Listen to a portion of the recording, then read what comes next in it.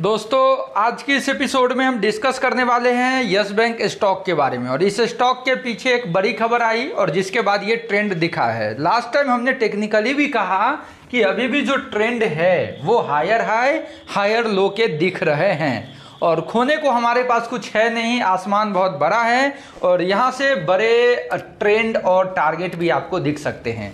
तो इसके पीछे के न्यूज़ को समझे, आगे के ट्रेंड को समझे, इससे पहले प्रीमियम टेलीग्राम और डिस्क्रिप्शन के लिंक से चैनल को ज़रूर शेयर सब्सक्राइब कर लेंगे। यहाँ एक बड़ी खबर दिखी है। वो खबर क्या है, यहाँ समझेंगे। JC Flower Yes Bank ARC Subhash Chandra, ये तीनों लोगों ने मिल करके जो 6500 करोड़ के डेट के डिस्प्यूट हो रहे थे, उसको रिजॉल्व कर लिया है। और ये एक बड़ी खबर रही। यही न्यूज़ के कारण स्टॉक में जो ट्रेंड है, वो पॉजिटिव दिखा। हालाँकि डिलीवरी ऑलरेडी बेटर दिख रही है। टेक्निकल ट्रेंड स्लाइटली जो है, वो एक कंसोलिडेट पॉजिटिव फॉर्म में ट्रेड होते दिख रहा है। इसके साथ अभी भी ये हायर हाई हायर लो के ट्रेंड में दिख रहा है।